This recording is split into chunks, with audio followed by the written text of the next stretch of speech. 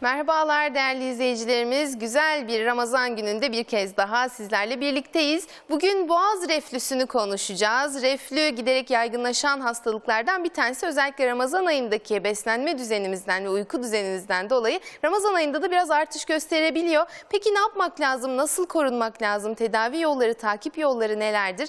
Detaylıca konuşacağız. Çok değerli bir konuğum var stüdyomuzda. Kulak burun boğaz uzmanı Profesör Doktor Erkan Tarhan bizimle birlikte. Şimdi ne yapmalı başlıyor. Reflü sık karşılaşılan sindirim sistemi hastalıklarından biridir. Peki reflü neden kaynaklanır? Sağlık ve hayat kalitesini nasıl etkiler? Tedavi yolları nelerdir? Kulak burun boğaz uzmanı Profesör Doktor Erkan Tarhan'la konuşuyoruz. Sorularınızı bize ulaştırın, stüdyoda cevaplayalım. Erkan Hocam hoş geldiniz programımıza. Hoş bulduk efendim. Burada olmaktan yine çok mutluyum. Öncelikle tabii tüm dinleyicilerimiz ve sizlerin Ramazan aylarını kutluyorum. Çok teşekkür ediyoruz. Ee, biz de bu vesileyle bir kez daha tebrik edelim. Herkese hayırlı Ramazanlar dileyelim. Ee, Ramazan ayı tabii ki manevi açıdan da pek çok e, konuyu ele aldığımız aylardan bir tanesi ama sağlık da çok önemli. Ee, özellikle sağlık üzerinde beslenme düzeniyle birlikte bir takım etkileri olabiliyor. Tabii ki neticede faydalı e, bakan e, yönleri daha fazla ama biz bazen hatalı yaklaşımlar, hatalı uygulamalar yaptığımız için bu mübarek ay bile bazen sağlığımıza zararlı hale getirebiliyoruz. E, dolayısıyla dikkat edilmesi gerekenleri de konuşacağız inşallah. Reflü bağlamında biraz buna dikkat edeceğiz. E, en başta reflüyü anlamak için hani midemiz, yemek borumuz, işte boğazımız gibi böyle üst solunum yolu, e, sindirim sistemi organlarını da biraz e, anlamak lazım galiba. Bize nasıl anlatırsınız hocam? Nasıl bir sistemimiz var? Öncelikle Ayşe Hanım reflü bir medeniyet hastalığıdır. Ya Bu ne demek? Reflü giderek artacak demek. Yani önümüzdeki yıllarda çocuklarımız, torunlarımızın daha çok reflüsü olacak. Ki giderek yaygınlaşıyor diye haberler çok e, duyuyoruz. Yani reflü çok duyacağız. Medyada da çok yer alıyor. Yani Neden son- hocam? Neden medeniyet hastalığı? apne konuşmuştuk. Demiştik ki apne de çok artacak. Bu da Evet. çok artacak. Yani bunlar hep art, alerji de artacak. Hani artacak duyacağımız hastalıklar. Evet. Yani yıllar ilerledikçe enfeksiyonlar, iltihaplar azalacak. Antibiyotik kullanımı azalacak ama maalesef işte bu tür hastalıklar, kanserler daha çok artacak. Kanserler niye artacak? Uzun yaşam süreleri arttıkça hücrelerde mutasyon oluyor, değişim oluyor. O da artacak. Yani e, biz artık sağlık e, profesyonelleri olarak bu yöneli doğru gitmemiz lazım. Yani herkes antibiyotik değil de mesela reflü, reflünün e, anatomisini çok tabii kısaca anlatalım sindirim sistemimizin. Çünkü Evet. birazcık e, kafalarda oturması gerekiyor. Doğru. Ee, şimdi sindirim sistemimiz ağızdan başlar. Dişler, işte dil, yutak. Yutaktan sonra e, boğaz. Boğazın hemen arkasından e, genzinin altında hipofarenks dediğimiz dil kökü. Onun arkasında da hemen e, yemek borusunun ağzı. Ondan sonra yemek borusunun ağzında bir tane e, sfinkter dediğimiz kapağı vardır. Yemek borusu kapağı. Birinci kapak denir. Sonra yemek borusu başlar. E, yemek borusu aslında bir kastır. Tüp şeklinde bir organ değildir ve hareket halindedir yani. E, yemek borusundan daha sonra mideye doğru bir açılı e, açı vererek mideye girer. Orada ikinci bir kapak daha olur. Yani yemek borusunun, ösofagusun iki tane kapağı vardır. Bir hemen yutağımızın altında, bir de tam midenin girişinde iki tane kapağı var. Buna bağlı olarak da reflü. Reflü aslında reflux demek yani kaçak demek. Latincesi reflü, İngilizcesi reflux, Türkçesi kaçak. Kaçak ne- neyin kaçağı? Mide içeriğinin, safra içeriğinin yemek e, şey mideden ya yemek borusuna kaçağı, buna gör deniyor, gastroesofagel reflü deniyor, alt reflü. Yani daha doğrusu herkesin reflü dediği şey aslında o. Mide aklımıza Mide, geliyor. evet o mide reflüsü. Ee, ki o benim an- alanım dışında bir kulak boğazcı olarak. İkincisi ise yemek borusundan boğaza olan reflü. Boğaz reflüsü bugün konuşacağımız şey o bu ikincisi. Yani bunda sonuçta ikinci reflü de boğazdaki e, üst kapağın kaçırmasıyla mide içeriğinin, safra asitlerinin e, boğazı ses tellerimize, gırtlağımıza, sinüslerimize, boğazımızın tüm organlarının dil köküne doğru bir kaçağından bahsediyoruz. Şimdi reflü diyebilmek için yani her ağzımıza acı su geldiğimiz zaman reflü anlamına gelmez. Fizyolojik olarak haftada bir iki kez bu olabilir herkeste. Bunun için bir ilaç kullanmaya veya bende reflü var demeye gerek yok. Yani haftada bir iki kez o anki e, kötü beslenirsiniz, acı yersiniz, yağlı yersiniz, işte gazlı içecek kullanırsınız, sigara kullanırsınız, alkol alır biri. Bütün bunlara rağmen e, eğer bir de mesela bir de erken yatıyorsa o zaman ağzına bir şeyler gelecektir. Bu haftada bir iki kez olabilir. Bu bir yani fizyolojik sınırlarda olan reflüdür. Bu reflü hastalığı anlamına gelmemektedir. Peki neler reflüye neden oluyor? Bir kere işte dediğim gibi e, birçok şey var. Şeyden başlayalım öncelikle diyet.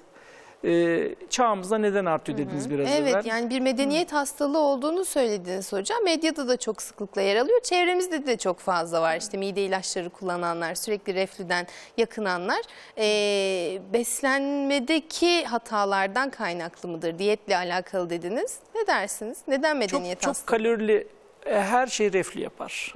Yani şeker reflü yapar. Yağlı kızartmalar reflü yapar. Yağlı yiyecekler, beyaz e, undan yapılan her şey reflü yapar. Yani aslında vücudumuzda gereğinden fazla aldığımız her şey reflü yapar. İşte acı, ekşi, baharat, işte gazlı içecekler, e, turşu. E, aslında birçok sevdiğimiz şey bunu yapıyor. Çikolata, nane, naneli sakızlar, nane şekeri e, gibi e, özellikle mideye dokunan işte mesela kim insanlarda domates, salça, o soslar bile yapar. Ketçap, mayonez, e, şey e, sigara, alkol bunları artırır. Reflü aslında neden oluyor? İşte bu besinler yukarıdaki sfinkterin ağzından açıyor. Mideden ve e, boğaza giden o kapakları açtığı için sürekli o, his geliyor. E, bir kere ne hisleri oluyor? İnsanda en fazla öncelikle tam bu e, kravat hizasından ağız acısı gelmesi, ekşime, yanma. Yani buraya işte sanki burada bir ateş yanıyormuş gibi derler hastalar boğazın hemen altında. E, bu alt reflünün bulguları, mide reflüsünün. Yukarı doğru gittikçe ama başka şeyler olmaya başlar. Peki yani mide reflüsü olan mutlaka boğaz reflüsü de olur mu? Yani ikisi birbiriyle ilişkili midir? Birbirini tetikler mi? Bu iki farklı bölgedeki reflüden bahsediyoruz çünkü. Nasıl bir ilişki var hocam? Tabii çok güzel soru aslında. Estağfurullah. Ee, ikisi de aynı anda olmak zorunda değil. Yani teorik olarak düşündüğünüz zaman mideden geliyor. Niye boğazdan? Mümkün mü ikisinin farklı olması dersiniz ama orada e, fizyolojik yani normal sınırlarda olan kaçak mideye ve yemek borusuna hiçbir şey yapmayabilir. Ama bizim boğazımız çok hassas. Yani mide sindirim organı, asit dönüyor, içeride bir sürü şeyi eritiyor.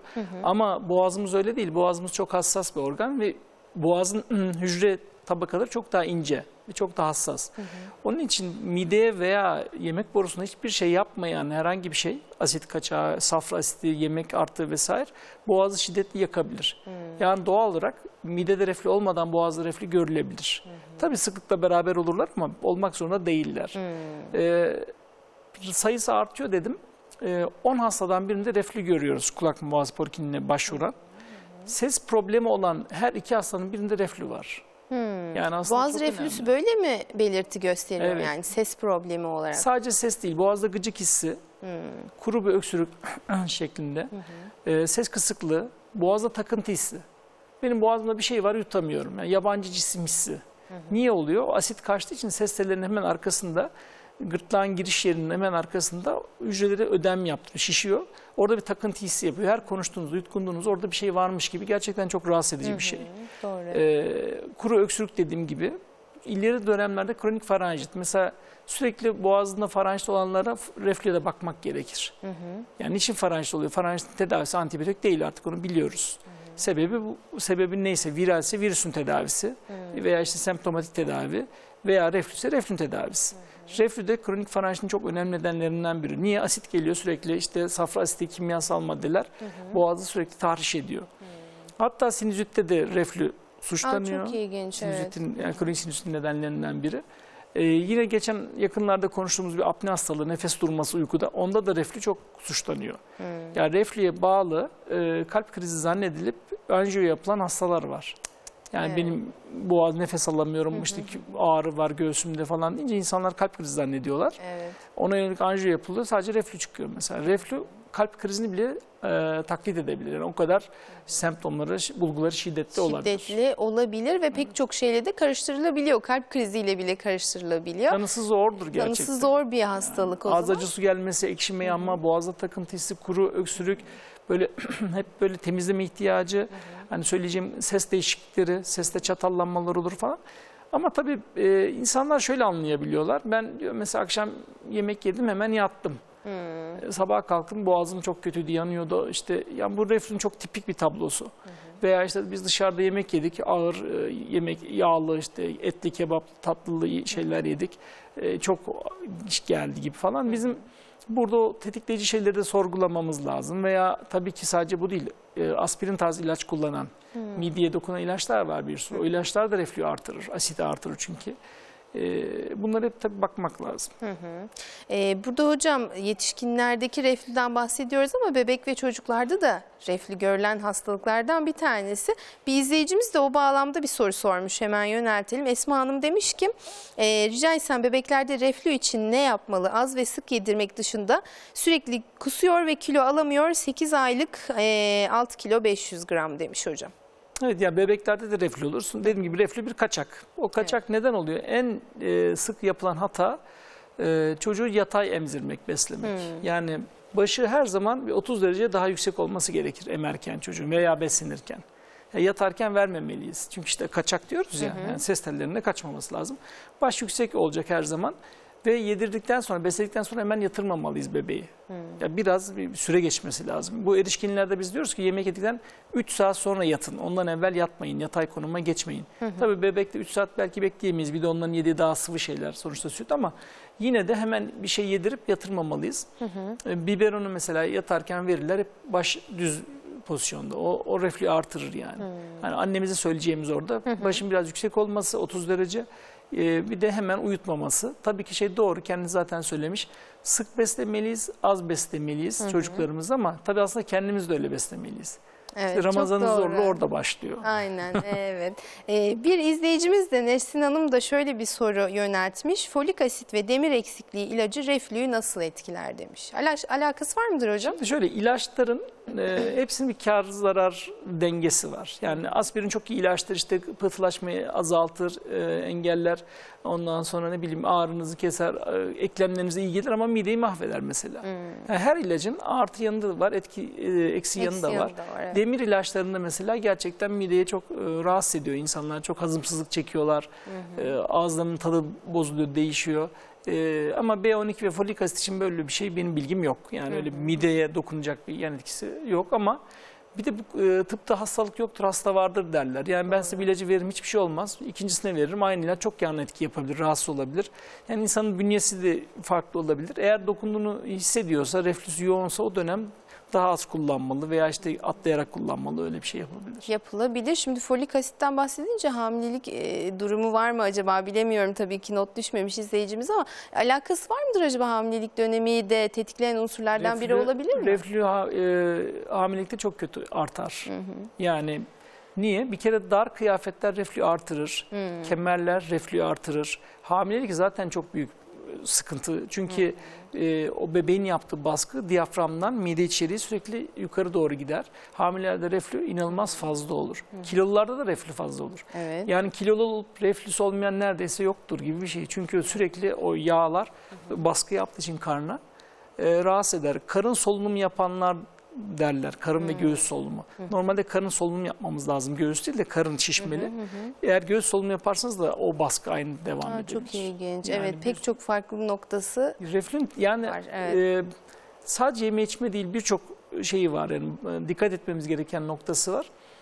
Ramazan'da bizim dikkat etmemiz gereken başka şeyler var. Birincisi yani tabii çok acıkıyoruz hepimiz. Hemen yemek doymak istiyoruz. Evet. Daha çok daha çok istiyoruz. ama- İftarda şimdi 17-18 saat aç gibi kalmış ortalama oluyoruz. bir açlık durumu söz konusu ama bütün uzmanlarımız bir anda yemek yemeyin Doğru diyorlar. işte Siz o. de kesinlikle Öyle bunu önereceksiniz. Evet. Ee, nasıl peki nasıl bir periyotta? Çünkü 6 saat gibi bir zaman dilimi var aşağı yukarı yani iftarla sahur arasında.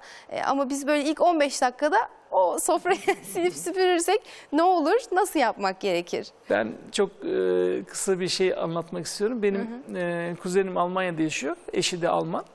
Bir iftara e, aileyi çağırıyorlar. Ondan sonra ailede e, bütün kız- Alman işte kız akşama kadar yemek hazırlıyor.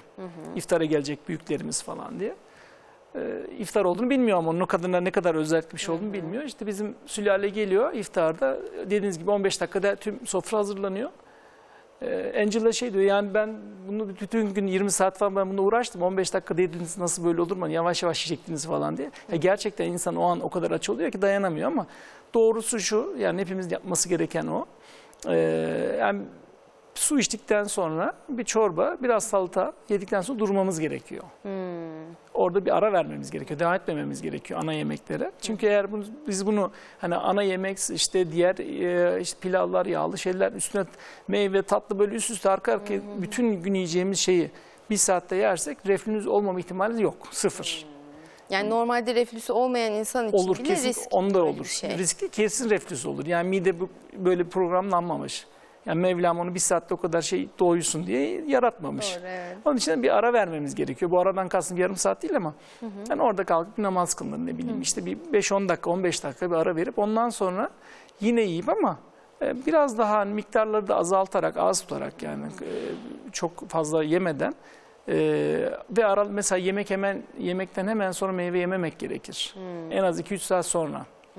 Yani 8.30'da iftar açtıysanız 10.30'dan önce mesela meyve yememeniz lazım.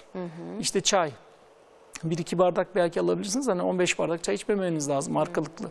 Doğru. Yani işte dondurma vesaire. Akşam yani bunları olabildiğince güne yaymak lazım. Tabii işte zorluğu da bu. Yani insan bir yerden sonra dayanamıyor şüphesiz ama Doğru, evet. e, reflüyle biz baş etmek istiyorsak e, biraz işte hem yediğimiz miktarı azaltıp hem de yaymamız gerekiyor. Özellikle meyveyi, karpuzu vesaire kesinlikle şey bağlamamak gerekiyor. Yemeğin hemen arkasına bağlamamak gerekiyor tatlıyı. Ee, onu daha sonra yemek lazım. Zaten reflünüz varsa tatlı yemeyeceksiniz. İşte baklavadır. Tatlıyla şey- ilişkisi var mı hocam? Var tabii. Kalorili her şey reflü yapar. Yüksek çok kalorili her şey reflü yapar. Ee, işte şekerli şeyler, unlu şeyler, mamuller reflüyü artırır. Ee, çok yani biraz da tadına bakmak lazım yiyeceğiniz şeyin. Yani hiç yemeyeceksiniz deyince olmuyor ama yani 4-5 tane değil de bir tane tadına bakıp biz ya illa tatlı yiyeceksiniz. Sütlü tatlılar. Mesela güllaç niye ünlü oldu? Yani Ramazan tatlısıdır. Hafiftir, yağ yoktur içinde değil Doğru. mi? Yani sütlü tatlılar ve az miktarda tabii ki. Yani illa yiyeceksiniz ye- yenecekse. Ama ideali e, çok da tatlı şekerli şeyler fazla yememek. Mesela beyaz şeker e, reflüyü artırır. Yani reflü sadece acıdan ekşiden olmuyor yani. Hani Çok kalorisi ilginç. yüksek olan. Genellikle de öyle biliriz. Yağlı, işte katkı maddeli, Evet. e, acı şeyler, daha çok tuzlu yiyecekler aklımıza geliyor reflü ama tatlı da çok ciddi bir Tatlı da yani yüksek kalorili şeylerin hepsi reflü yapar. Çünkü sonuçta e, şeker e, bu mide kapağını açan ve yukarı doğru e, bu mide içeriğini yukarı doğru e, arttıran bir şey. Yani şeker, çikolata mesela çikolata reflü yapar. Nane. Şimdi nane niye reflü yapsın? Akla Doğru. gelen. Hatta Naneli sakız nane bile limon reflü yapar. yani. içeriz hani midemize bir şey olunca. Limon yapar, greyfurt yapar. Çok iyi. Benim bir hastam vardı öyle m, reflü tedavisine başladık. Ee, yaklaşık iki ay tedavi verdik bir türlü geçmiyor reflüs. Hmm. Başarılı olamıyorum tedavide. Bir öğretmen hanım da hocam dedim ya ben düzeltemiyorum sizin bu hastalığınızı. Yani yüksek dozlu ilaçlar veriyorum. Her şeyi yapıyor olmuş musunuz dedim yani olabilir? bir hata mı var? Her şeyi yapıyorum hatta dedi ben dedi greyfurt kürü de yapıyorum dedi. O ne dedim? Ay, Her işte. gün de detoks yapıyorum. 2 kilo greyfurt sıkıyorum her gün. Greyfurt 2 kilo yerseniz reflünüz geçer mümkün mü? Oo, Yani işte portakal, büyük mandalina, miktar, evet. greyfurt, limon. Yani bazıları çok fazla limon tüketiyor. Limon %70 asit yani hani kullanılmayan her şeyi e, kendi ölçüsünde kullanmak lazım. E, çok da abartmamak abartmamak gerekiyor. lazım. Burada bir nokta daha ortaya çıktı hocam. Ee, böyle bitkisel kürler, işte bitkisel bir takım ilaçlar, uygulamalar son yıllarda özellikle çok popüler oldu, revaç olmaya başladı. Ee, fakat e, neyin ne miktarda, ne için kullanıldığını bilerek bunları yapmak lazım. Tümüyle belki reddetmemek gerekiyor. Bilmiyorum modern tıp nasıl bakıyor bu işlere ama Modern tıp hiç iyi bakmıyor bu işlere. Çünkü e, ama bir de bilinçsiz yapılınca iyice fe- gibi feci oluyor yani. hani, e, bu ilaçlar da çiçeklerden işte bitkilerden yapılıyor. Eyvallah tamam ama bunlar 30 yılda çıkıyor. Yani ne kadar miligram ne kullanacak nasıl e, sterilize edilecek e, bunun yan etkilerine deneyler yapılıyor. O, hay- o hayvanda o ilacı veriyorsun kör oluyor hadi bunu vermeyelim diyorsun. Yani bunlar tamamen araştırmalar neticesinde. e, tabii şey yani hani bunu e, sadece işte gazete köşelerinden aldığınız şeyleri yapmayın yani uygulamayın. Bunlar hep zarar görürsünüz. E, bir hastam geldi yine e, yakınlarda. Elinde bir bir sayfa kağıt. E, bir diyetisyene gitmiş ama yani hiç adını duymadığım bir sürü ot var içinde. Karabiber de var hem de e, bir tatlı kaşığı karabiber var her gün. Evet. Reflüsü var. Bunu dedi kullanıyorum hocam çok faydalıymış dedi. Dedim bunda karabiber var. Yani diğerlerini tanımıyorum dedim. Bir sürü ilaç şey bitki, Bitki var. Yani dedim karabiber yeter sana. Bunu kullanmaman gerektiğini anlatmak için söylüyorum dedim. Az bir Yani miktar da değil. Bir yani. tatlı kaşığı karabiber yenir mi her gün? Yani bu bitki şeylerine biz iyi bakmıyoruz. Bir kere bilimsel yanı olanlar ilaç oluyor. İlaç olunca piyasada eczanede satılıyor zaten. Çok yani ıhlamur tabii için ama adı çay için ama yani bunlardan işte ben kanser tedavisinde zakkum içeceğim derseniz yazık olur yani. Doğru. Yani evet. dikkat etmek lazım. Öncelikle sağlık profesyonellerine başvurmak gerekir. Eğer bizler çözemiyorsak o zaman oturur konuşuruz ama hani bazı hastaların tedavisi yoksa da yok. Yani bazen de Mevlam veriyor böyle bir şey. Kanserin tedavisi var? Doğru. Hepsinin için söylemiyorum da yani bazılarının yok yani. Olmayabiliyor o zaman belki alternatif tıbba Yani e, ve öncelikle- uzmanları tarafından gene bilimsel dayanağı olan şekilde başvurmak gerekiyor. Şu anda zarar daha çok faydasından onların bitkisel Doğru. grubun yani. Evet, doğru diyorsunuz hocam. Şimdi ilaç kullanımına da yavaş yavaş geleceğim. Çünkü mide rahatsızlıklarında gene e, sizin gibi uzmanlarımıza, hekimlerimize başvurmak yerine eğer mide ilaçları almayı tercih ediyoruz. O konuyu da soracağım ama Osmaniye'den bir izleyicimiz hattımızda bekliyor. Hemen dinleyelim kendisine. Hoş geldiniz. Hoş bulduk. Hayırlı günler. Çok teşekkür ediyoruz. Buyurunuz neler soracaksınız? Ee, Ben bebek reflüsüyle ilgili soru sormak istiyorum hocama. Hı hı. Ee, hocam e, bebek reflüsü geçici midir? Geçici midir? Evet. Sizin Bebek e, e, bebeğiniz yani var galiba. bebeğim 5 aylık. Bebeğim Beş 5 aylık bebeğim var benim. Hı hı. Ee, bir Allah ara e, bronşit tedavisi gördü. Allah razı olsun. Bronşit tedavisi gördü. Sonrasında bronşitin asıl nedeninin reflü olduğu tespit edildi. Biz bir süre reflü tedavisi de gördük ama hani e, doktorumuz bize belli bir süreden sonra bu reflünün geçeceğini, çocuk da küçük olduğu için çok fazla da ilaç yüklemek istemedik. Hani pratik işte başını yüksek tutmak, ondan sonra hani e, sık aralıklarla emzirmek gibi e, pratik bilgilere başvurduk. Evet. E, ama şu an için hani bebekte ara ara özellikle çok beslendiği zaman anne sütüyle beslendiği için de hani biberon gibi e, çocuğu durduramıyoruz işin açıkçası. E, hani hangi ayda geçer? Bir ay sonra ek gıdaya başlayacağız. Uzak durmamız gereken gıdalar yani daha sonrayı ertelememiz gereken gıdalar hakkında bilgi verirseniz çok sevinirim. Peki çok teşekkür ediyoruz. Evladınız da Allah bağışlasın. Allah Ben acil şifalar ederim. versin. Allah razı Hocam var mıydı olsun. sizin sormak istediğiniz? Yeterli sanıyorum. Peki. E, Osmaniye'ye de selamımızı, selamlarımızı gönderelim. Ne dersiniz? Ne tavsiye Önce edersiniz bir geçmiş olsun tabii. Ee, bebekler yaşta büyüdükçe tabii azalacak bu şikayetlerimiz. Ee, kimlerde azalmazı önce söylemek lazım. Mesela mide fıtığı olanlarda hiyatal herni dediğimiz bir şey var. O mide yukarı doğru gidiyor veya e, yemek borusunun uç tarafında artık o reflünün yaptığı tahribat kalıcı hale gelenlerde. Hani böyle olmadıkça düzelir. Yani ve artı öneriler uyuldukça düzelir. Ee, orada dozu e, hocam doktor arkadaşımız ne diyorsa çocuk doktor, çocuk gastroenteroloji uzmanı o ne diyorsa onu yapmak lazım. Reflü doğası gereği e, biraz uzun süren, tedavisi uzun süren bir hastalık. Yani reflü bir kutu ilaç bir üç gün kullanın geçi öyle bir şey yok. Yani bayağı uzun dönem takip ediyoruz. Özellikle boğaz reflüsü tedaviye çok dirençlidir. Ee, yani 4 ay kadar tedavi ettiğimiz hasta oluyor. Öyle hani bir kutu ilaçta falan geçmez reflü. Yani sadece ilaçla da geçmez öte yandan. Bir diyetimiz var, diyetimizi söyledik. Diyet aslında Hayat tarzında da bir takım değişiklikler çok yapılması mutlaka gerekiyor. Yani Pek diyetten- çok farklı unsurdan bahsettiniz. evet aynen öyle Ayşe Hanım. Diyetten kasıt şey değil yani bir ay böyle yapacaksınız, iki ay böyle Diyet yani hayatınızda böyle yapacaksınız demek. Yani ben iki ay yemeyeyim, üç ay sonra işte devam edeyim kaldığım yerden. E, reflü yine gelir. Reflü hemen, hemen gelir yani. Bir daha kovdum zannetmeyin hemen gelir. Ya bu öyle bir şey ki hayat tarzı değişikliği gerçekten gerekiyor. Yani ne diyorlar işte sabah kahvaltınızı yoğun yapın. Yani zengin gibi yapın derler ya. Öğlen orta halli, gece fakir gibi yiyin akşam. Öyle yani. Biz hep beslenmemizin büyük kalorinin ciddi kısmı sabah kahvaltı almamız lazım. Öğlen daha az, akşam çok daha az. Akşam belki bir çorba, bir, bir salata, bir küçük az bir yemek. O da az bir şey. Bu kadar yani. Akşam meyve mesela akşam tüketmemeliyiz. Meyveyi olabildiğince gündüz saatlerinde yani öğlen ikindi gibi tüketmek lazım. Tabii Ramazan bunlarla çelişiyor. Dışında tutuyoruz yani. Evet Ramazan dışında söylüyorum. Ya bunu her zaman böyle yapmamız lazım. Yani siz Yani gidip bizim ama kültürel olarak yeme e, tarzımız çok farklı yani sizin dediğinizden çok farklı. Özellikle akşamleyin bütün aile bir araya geliyor. Evet. Yemek peşine hemen çay, peşine hemen meyve gibi böyle gece 11-12'ye kadar süren bir yeme silsilesi kuru yemişler vesaire oluyor. Ramazan'da da o şekilde. bunun sayesinde de şeker hastalığı patladı, Evet. şişmanlık patladı, şişmanlığa bağlı apneler patladı. Çok doğru. Bundan sonra daha da devam edecek. Yani şimdi bu daha evvel yapmış yapmış olduğumuz hatalar bizim bundan sonra düzeltmezsek başımıza başka şeyler açmayacağı anlamına gelmiyor. Ee, çocuk şişmanlıkları çok ciddi problem. Şimdi bakanımız niye ikide bir iki obeziteden, hareketten, kilo vermekten Evet. bahsediyor? Bu nedenle. Yani giderek Türkiye hızlı bir şekilde e, medenileşiyor aslında bir yandan da böyle bir obezite Doğru. bir salgın. Yani akşam dediğim gibi daha az yemeliyiz. Ee, bu hamur işlerin kaldırmak gerekir. Yağlı kızartma, kızartmayı çok seviyoruz. E çok da güzel. Zaten güzel olan şeyler zararlı. Zararlı evet. Onlardan uzak durmamız gerekiyor. Ya e, bu hani eve hiçbir şey sokmayın. Ben hayatta hiç kızartma yemeyeyim. Bu değil ama yani çok az ve çok seyrek yemek gerekiyor bazı şeyleri. İşte kola vesaire gazlı içecekler ondan hep tamamen uzak durmak gerekiyor.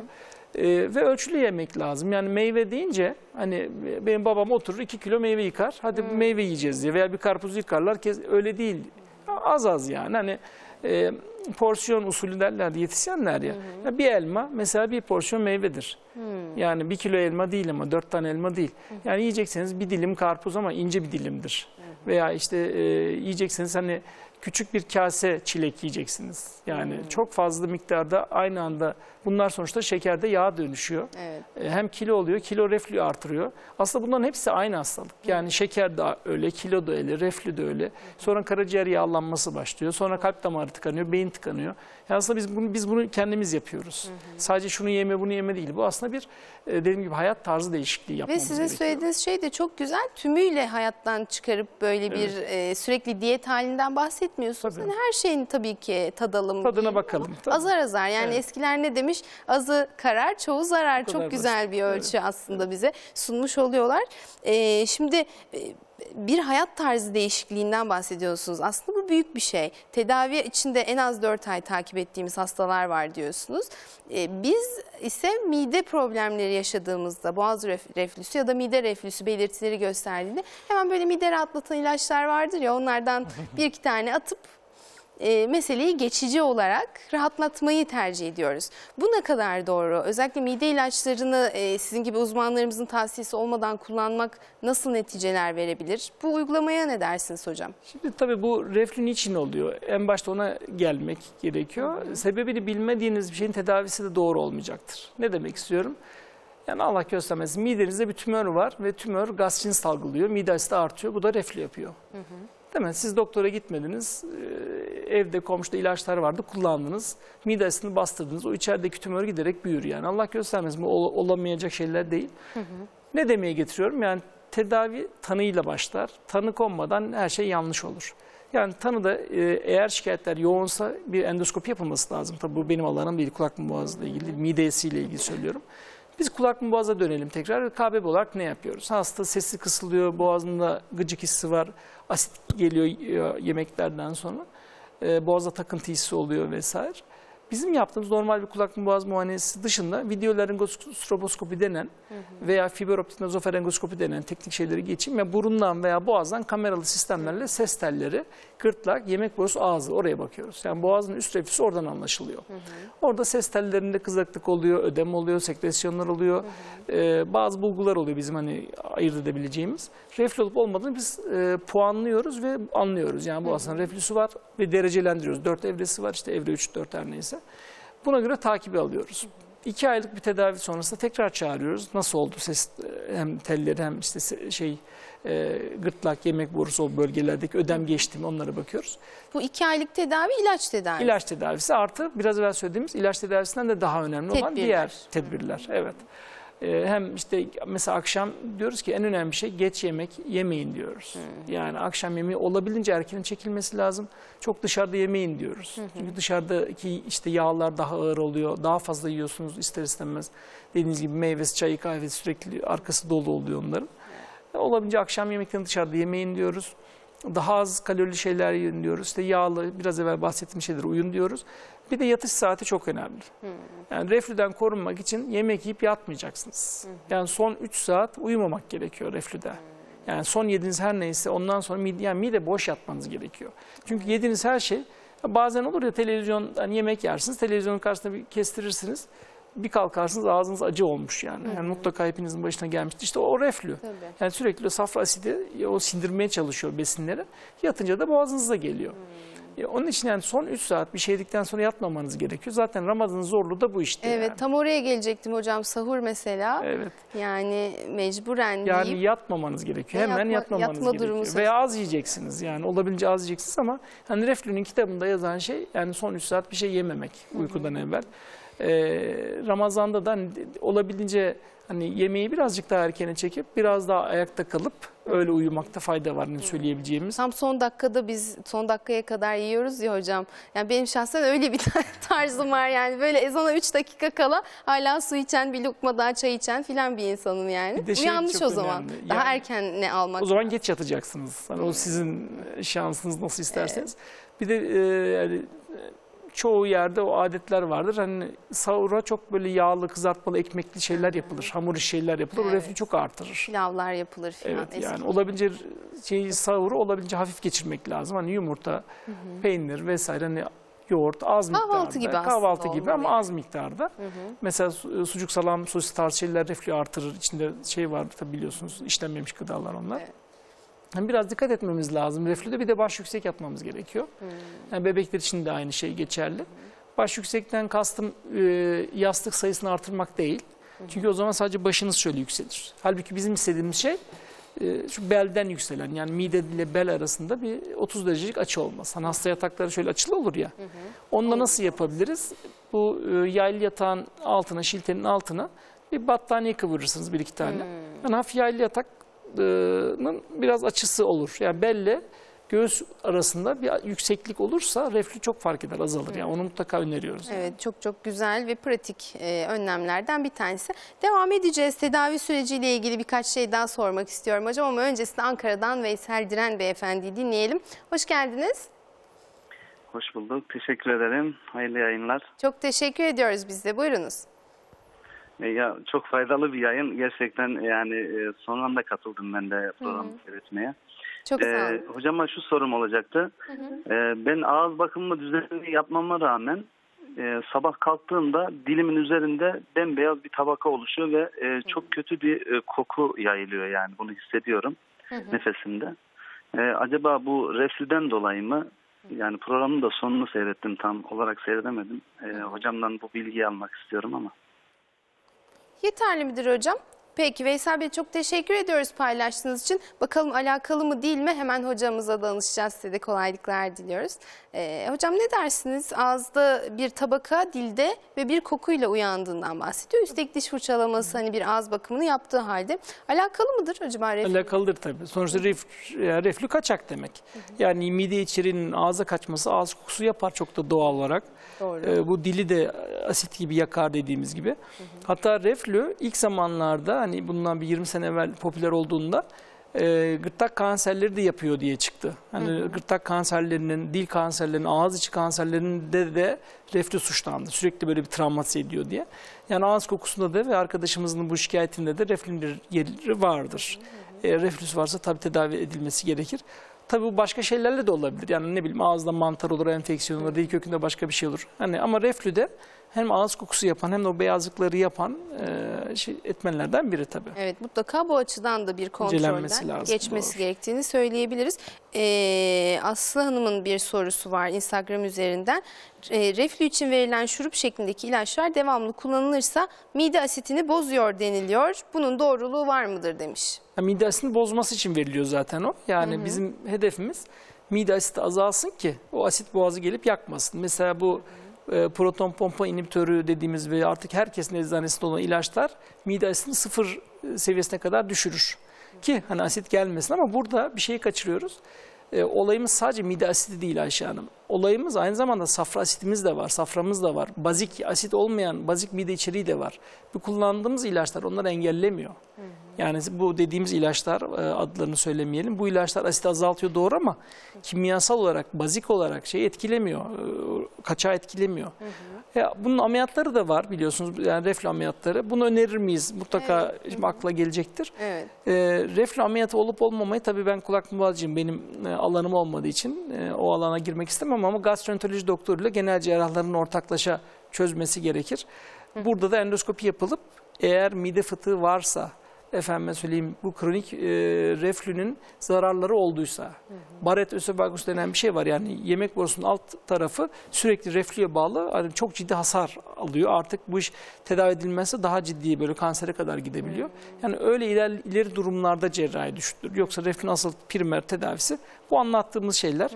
E, reflü çok önemli çünkü ileri yaşlarda başka şeyler de açabildiği için yani dediğim gibi sinüzittir, faranjittir, larenjit, ses problemleri Yani tedavi edilmediğinde daha ciddi tablolara yol açıyor. yol açacak. Yemek borusunda ciddi sıkıntılara yol açacak. Aslında e, tedavisi çok zor değil ama mm, biraz bize meydan okuyan bir tedavi metodu var. Yani kendimizi sınırlayan, fazla öyle gözümüzün canımızın her istediğini yapmamamız gereken bir tedavi metodu bu. Evet. Ee, hocam Yusuf Bey'in bir izleyicimizin bir sorusu var. Yani konumuzla çok ilgili mi bilmiyorum ama yine de yöneltmek istedim. Zayıf olan kişiye beslenme ile alakalı ne önerirsiniz demiş. 1.73 boyunda 47 kilo. Oldukça zayıf bir e, beyefendi. Yani alakası var mıdır mide rahatsızlıklarıyla veyahut da o sindirim sistemiyle bu kadar aşırı zayıf olmanın? Çünkü kilodan bahsediyoruz. Burada da tam zıt tablo karşımıza çıktı. Ne dersiniz? Tabii şeyi söyleyeyim aslında tersinden biz konuya bağlayalım. Şöyle zayıflarda reflü olur mu diye söyleyeyim en başta. O, Tabii bu evet. e, zayıflarda reflü olabilir. Niye olabilir? Dediğim gibi en basit mide fıtığı gibi bir şey olur. E, sadece kilo alması değil, beslenme mesela e, alkol kullanan, sigara kullanan, yanlış beslenen, mesela işte yurtta kalan, ailesinden uzak kalan, sürekli dışarıda yemek yiyen, e, yurt dışında biliyorsunuz yani yemek kalitesinin nasıl olduğunu. Doğru. Hani onlarda reflü olmaması zor. Ee, arkadaşımıza gelince tabii e, beyefendi tetkikleri yapılması lazım. Yani acaba o kadar zayıflık zayıf tiroid fonksiyonu mu düşük, e, metabolik bir problemim var, yani tüm e, parazitimi var bilmiyorum. Onların hepsine bakılması lazım. Tabii benim alanım değil. Başka alanda bir şey söylemek. Ama bir e, uzman hekim tarafından Tabii incelenmesi lazım. Yani gerektiği. bir dahiliye gidip o tüm kan tetkiklerinin yapılıp e, yani sindirimde mi problemi var yoksa başka bir mu- a- absorpsiyonda yani yediği şeyler mi acaba sisteme girmiyor onu incelenmesi lazım. Yani bir gastroenteroloji veya dahiliye gitmesi gerekecek. Mutlaka gitmesi gerekiyor. Peki hocam farklı boyutlarıyla hani neler tetikler, ne yapmak gerekir bunları konuşmaya devam edelim. Ee, arada geçti sizin uyarılarınız arasında ama biraz daha açarak konuşmak istiyorum. Ee, zararlı madde kullanımı, alkol ve sigaradan bahsettiniz. Çok ciddi tetiklediğinden bahsettiniz. Ee, neden tetikliyor ve bu anlamda hani çok zararları var. Ee, bir de bu açı şimdi bizim karşımıza çıkmış oluyor. Ee, ne uyarırsınız bu konuda izleyicilerimiz neler söylersiniz? Şimdi e, maalesef yani artık e, bilimsel düzeyimiz arttıkça, eğitim düzeyimiz arttıkça bu e, kötü alışkanlıklardan daha rahat kurtulabileceğimizi düşünüyordum ben. Daha hani azalacağını hızla. İstediğimiz kadar tabi azalma var. Gözle görülür ama benim arzu ettiğim gibi değil. Bazen konuşuyoruz çocuk işte 17-18 yaşında bir ameliyat yapacağız. Hani sormuyorum bile ben alkol var mı, sigara var mı diye 17 yaşından 18 yaşında çocuğa. Annesi odadan çıkınca hocam ben bir şey diyeceğim ben sigara içiyorum işte alkol alıyorum falan şaşırıyorum yani. Oğlum diyorum nereden buluyorsun bunları? Ee, ve gizli saklı yo- yoğunca da kullanıyorlar. Gerçekten bu ciddi bir dert. Hem alkol hem sigara, reflü de yani her şeyi artıracağı gibi reflüyü de artırır. Her şey zararlı olduğu gibi buna da zararlı zaten. Ee, alkol mide sfinkterini yani o kapağı açar, tonusunu düşürür. Onun için e, alkol alanların reflü dertleri çok daha fazla olur. Sigaranın zararları zaten saymakla bitmez. E, reflü de artırır. Sonuçta e, 4000 çeşit zararlı madde içeren bir şey sürekli soluyorsunuz. E, yine bu sıralar e, sigara dışında işte pro, pipo, e, nargile. Yani nargile mesela sigara içiyor musunuz diyorum. İçmiyoruz. Sadece nargile diyor. Ama Halbuki nargile Sağlık Bakanlığı'nın da bununla ilgili bir kamu spotu da var. Tabii. Daha zararlı olduğunu. Ya benim okuduğum ne kadar doğru bilmiyorum. 50 tane sigara var diyorlar bir nargilede. Yani ayda siz bir tane içiyorsanız zaten başka sigara içmenize gerek yok yani. Doğru evet. Hani bir de yoğun nargile tüketimi başladı artık. Nargile kafeler başladı. Çok popüler hale Çok geldi. popüler hale geldi. Ee, yani bunların da ne kadar e, zararlı olduğunu bilmek lazım. Bunlar hani nargile, alkol, sigara bu, bunların hepsi reflüyü de artırır. Diğer her şeyi de artırır. Yani hani iyi geldi bir şey olmadığı için hangi birini söyleyelim demiş ya Nasrettin Hoca. Doğru. Peki e, bir izleyicimiz demiş ki sadece mide bulantısı ve ağızda sulanma reflü müdür?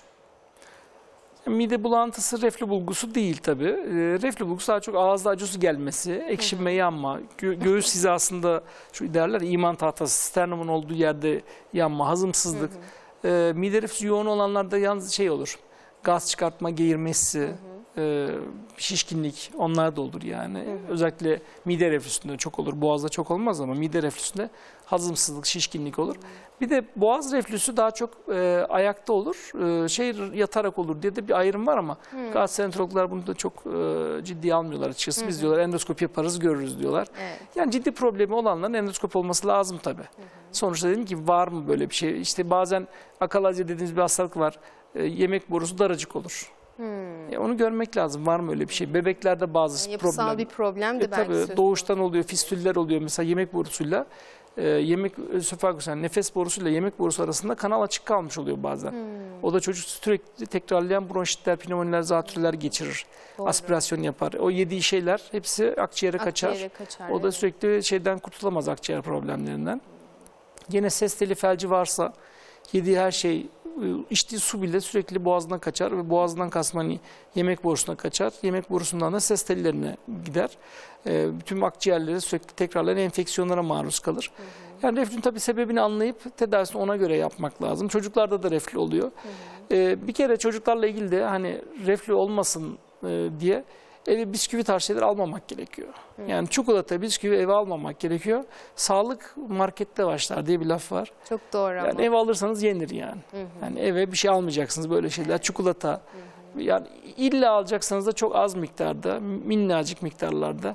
Yani eskiden şey derlerdi ya büyüklerimiz ay başında alırız oğlum. Çikolata alırdı bir, bir tane iki tane. Doğru. Yani belki iki- yani imkanları sınırlıydı ama doğrusu da oydu zaten. Yani nefsi öldürecek kadar e, eve kolalı gazlı içecekler almamak gerekiyor. Ha, Ramazan'da bir furya oluyor biliyorsunuz reklamlarda sürekli gazlı içecekler. Sanki Ramazan çok Başka alakasız yani. O kadar zararlı ki. Zaten mideniz şiş. Bütün gün aç kalmışsınız, mideniz boş. Bir de onun üstüne gazlı bir içecek içince yani duman olur. Yani mide. hazmettirir gibi bir algı Hiç var alakası ama hiç yok. alakası Hiç- yok O sanırım. kadar zararlı ki tam tersi.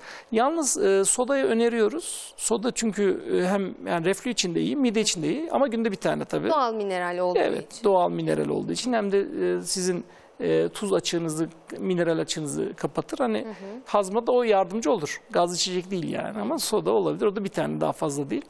Bir de dediğim gibi sürekli aynı anda bol tarzında her şeyi yememek gerekiyor. Canım yani biraz ara vereceğiz. Bu kadar basit aslında. Sakin olmak lazım. Sakin olmak Özellikle lazım. Ramazan'da. Evet. Peki hocam devam edelim süremizin sonuna doğru yaklaşıyoruz ama Ankara'dan da Aynur Gülhanoğlu hattımızda. Hoş geldiniz Aynur Hanım.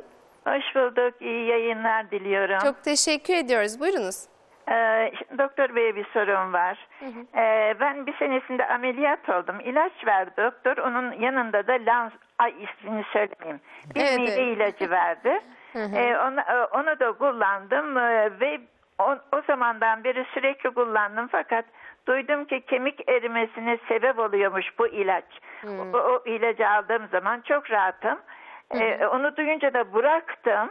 Fakat iki gündür bayağı beni zorladı. Ee, soda içtim. Ee, af buyurun bir geğrinti geldiği zaman rahatlıyorum. Bu hakikaten bu ilaç kemik erimesine sebep oluyor mu? Eğer oluyorsa onu alamayacağım tabii. Fakat bu reflü öyle fazla yemek yemem. Ondan sonra en azından yani yemekten e, 3-4 saat sonra ancak yatabiliyor yatarım. Çok güzel. Yüksek başım da yüksek. Hemen hemen bütün şeylere e, e, riayet ediyorum ama bu ne hikmetse bu şey reflü birdenbire e, oluyor. O da beni tabii çok tedirgin oluyor. Ne yapmam lazım? Bu denilen ilaç hakikaten kemik erimesine sebep olur mu? Peki. Sorun bu. Çok Peki. teşekkür ediyorum. Allah şifa versin diyelim. Çok Ha. güzel ifade ettiniz kendinizi. Selamlarımızı gönderiyoruz. Hemen danışıyoruz. Ee, mide ilacı kemik erimesi yapar mı? Bir ek soru sorayım. Böyle şeyleri duyup da ilacı böyle pat diye bırakmak doğru mu? İkinci öyle. soruyu da ben eklemiş olayım. Bir Buyurun. kere hocam. hanımefendinin niye bu kadar çok şikayeti var değil mi? Tedavi olmuş, ilaç alıyor, niye devam ediyor Evet. bu kadar? Yani hep kökenini bilmek gerekiyor. Yani tanıda bir hatamız varsa tedavi edemeyiz. Onun için e, ablamıza benim özel e, ricam yani gastroenterolojiye bir daha gidip bu reflüye sebep olan şeyi ortaya çıkartmak gerekiyor. Yani safra asidi mi yetersiz, başka bir şey mi var, midede mi bir derdi var, yemek borusunda bir şey mi var? Bazen zenker divertigül denen bir şey var. Yani yemek borusunda cepleşme oluyor mesela. O da sürekli yediğiniz her şey orada kalıyor. Artıkları hem ağız kokusu yapar hem bu şikayetleri artırır gibi. Yani demek istediğim tekrar bir e, değerlendirilip doğru tedavide miyiz? Onu söylemek lazım. İlaç yan etkilerine gelince tabii tüm ilaçların yan etkisi var. Yani ilaç yan etkisi olmayan hiçbir ilaç yok dünyada. Ee, burada ilacı verirken yarar zarar dengesine bakacağız. Ha, siz mide ilacını almadınız, mide kanaması oldunuz. Bu mu daha iyi? Doğru. Yani işte bunu düşüneceğiz. Ee, onun için biz mide kanaması olmasın, e, başka şeyler yolu açmasın, işte sesli problemleriniz olmasın diye bu ilaçları veriyoruz. Bu ilaçlar ama ömür boyu da kullanın demiyoruz yani. Hani diyorum ya 4 ay veriyoruz. Ben hani ömür boyu gidin bu ilacı kullanın kimse demiyorum. Doğru. Ataklar halinde gelebilir gerçekten. Bir de şey söyleyeyim Ayşe Hanım. Yani herkese aynı diyet de olmuyor. Yani siz şunu yiyin ama bunu yemeyin. Yani ne bileyim kimseye dokunmaz da erik size dokunur yani. Yani Doğru. e, Bünyeye göre de değişir. değişir. Yani biz diyoruz ki yani siz kendi doktorunuz olun. Size ne dokunuyorsa yemeyin. Ya kim insan domatesten çok rahatsız oluyor yani. Çok ekşiyor, yanıyor diyor. Salçadan rahatsız oluyor. Ama o biraz kendi e, dikkat etmesi lazım. Çay kahve mesela. Yani kimisine hiçbir şey olmuyor. Kimisi iki bardak çaydan rahatsız oluyor. Evet. Ee, ben bu açıdan e, yaklaşmak istiyorum. Yani hanımefendi şey yapması lazım. Mutlaka bir tekrar değerlendirilmesi lazım. İlacı da eğer doktor verdiyse kafadan kesmemek gerekiyor. Yine doktorun önerisiyle bir Evet. belki doz düzenlemesi ya da işte yani. farklı bir ilaç. Kemik erimesi var mı da olabilir. anlamak kolay yani. Dansometri denen bir şey var. Onu test edersiniz çıkar yapmış mı yapmamış mı öyle bir şey var mı diye. Ama bu ilacı her alanında kemiğin eridi falan yok yani Yok, öyle bir. evet. Ama tabii ki yan etkileri var. Yan etkili her ilacın var. ilaçlarda tabii. olduğu gibi. Orada ne, profesyonel görüşüne güveneceğiz. Hekim ne derse onu yapacağız. Evet. Ee, şimdi biz tabii e, pek çok noktada beslenmeyle ilgili ekşi bir takım şeylerle ilgili de önerilerde bulunduk. Selda Hanım'ın da kafasına takılmış şöyle sormuş. Limonu her gün çaya veya suya sıkarak kullanıyorum ama günde ne kadar tüketmek normaldir demiş. Ee, tabii miligram bazında söyleyemeyeceğim ama e, bir limonu bütün yani bir limonu bir gün boyunca kullanmak e, fazla. Bir de e, bizim vitamin C açığımız 50 mikrogram. O ne demek? Yani biz 51 mikrogram alırsak o idrarla atılıyor. Ya 500 mikrogram alırsak 450 mikrogramı idrarla atılıyor. Vitamin C suda, e, vücutta depolanmaz. Evet. Yani her gün almanız lazım. Her gün az miktarda almanız lazım. Sadece vitamin C limonda da yok. Yani yeşilliklerde de var, domateste de var, bir sürü şeyde var, salatalıkta bile var.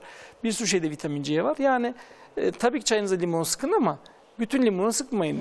Önerim bu olabilir. benim. Doğru. Yine aynı noktaya geliyoruz. Evet, evet. Az miktarlarda ve e, uzun aralıklarla tüketmek en doğrusu her besin için bunu aslında söyleyebiliriz. E, son iki dakikamız ben son olarak sizden stresle ilgili e, uyarılar almak istiyorum. Çünkü reflüye hani ne sebep olur ne tetikler bununla ilgili programa hazırlanırken pek çok okuma yaptım. Stres birkaç yerde karşıma çıktı. Çok da ilginç buldum hocam. E, şimdi biz hep yediklerimizden, içtiklerimizden, uyku düzeninden falan bahsettik. Ama stres de tetikliyor galiba. Neden ve ne yapmak lazım? Dün bir burun ameliyatı yapacaktık. Ee, hanımefendi geldi. Burada uçuk çıkartmış birkaç gün evvel yani bir hafta falan. Ee, çok ben streslendim de ondan dedi işte böyle gerçekten stres her şeyi etkiler. Evet. Ya uçuğu da tutun, e, reflüyü de artırır, kalp krizini de artırır, tansiyonunuzu da artırır, şekerinizi de artırır. Yani bunlara psikosomatik hastalık denir. Stres e, tüm hastalıkları %60 oranında etkileyebilecek potansiyele sahip. Yani stresten kastım tabii yoğun ciddi stresler yani sadece gerginlik anlamında söylemiyorum. Reflüyü de artırır, uyku düzeninizi de bozar. Yani mesela uykusuz insanlarda daha dert olur. İşte gece vardiyası çalışanların hayatları daha zordur. Yani o biyoritim diye bir şey var. Yani insanın normalde akşam 10 gibi uyuyup sabah 6 gibi kalkması gerekiyor. Genel ritim böyle kurgulanmış. Bunun tersi olursa gece nöbet tutuyorsunuz, gündüz uyuyorsunuz. Yani bu aynı şey değil. Yani bu tür stresler de vücudunuzun yani bu da ciddi bir strestir insana. Evet. Yani çalışma saatlerinin değişmesi işte bu sahurda da öyle. Bu da bir stres kaynağı. Doğru. E, bunlar da bizim anksiyetemizi, kaygımızı artırarak reflüksümüzü artırır. Etkisi olur yani. Stresi de kontrol etmek gerekiyor. Hem reflü açısından hem genel sağlığımız açısından. Şüphesiz. Hocam bu şekilde tamamlayalım dilerseniz. Teşekkür Çok teşekkür ediyoruz. E, reflü bağlamında konuştuk ama hem Ramazan'da sağlık konusunda hem de genel sağlık konusunda da çok önemli uyarılarda bulunduğunuz aslında her şey e, ne yedip yiyip içtiğimizle ve bunları nasıl hangi düzende tükettiğimizle alakalı pek çok hastalığın başı bu. E, dikkat etmek gerektiğini sizden de öğrenmiş olduk. Çok teşekkür Çok ediyoruz. sağ olun. Teşekkür ederim. Değerli izleyenler böylelikle bugünkü programımızın sonuna geldik. Yarın saatler 15'i gösterdiğinde inşallah tekrar karşınızda olacağız. Bakalım neler konuşacağız. Akrabalık, insanlar arasındaki en yakın bağdır. İyi günü paylaşan, kötü günde destek olan akrabalardır. Peki akrabalık ilişkilerinde nelere dikkat etmek gerekiyor? Aile danışmanı Zeynep Sakarya ile konuşuyoruz. Sorularınızı bize ulaştırın, stüdyoda cevaplayalım.